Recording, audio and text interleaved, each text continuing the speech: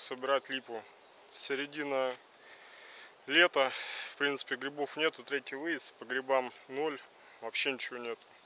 Леса стоят пустые, но влажные, пропитанные, даже елки влагой насыщенные, но грибов на данный момент нету.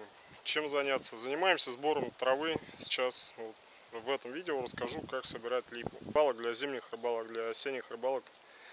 На, заварить себе в термос лишний раз травяной чай, это очень-очень хорошо. Вот, смотрим. Липу собираем мы в лесу. Выехал я специально под район Серпухов, 92 километров, собираю ее здесь. Растет она вот, вот так вот.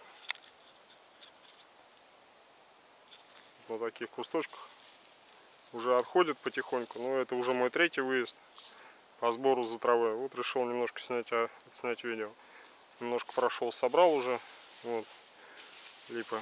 Потом по сушке расскажу, как что это делается.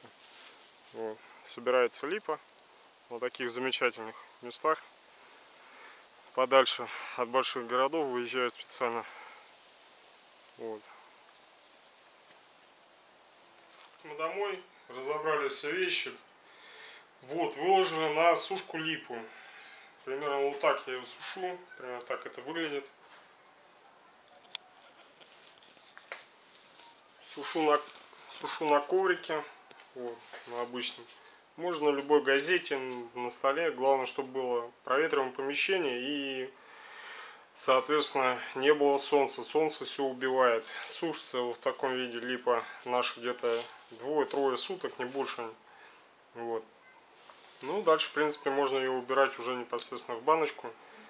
Вот, или в ситечко. Я убираю в такую банку, закрываю ее. Уже сухая липа.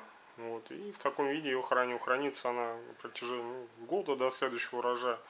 Пьется очень-очень здорово. Все, всем спасибо, всем удачи.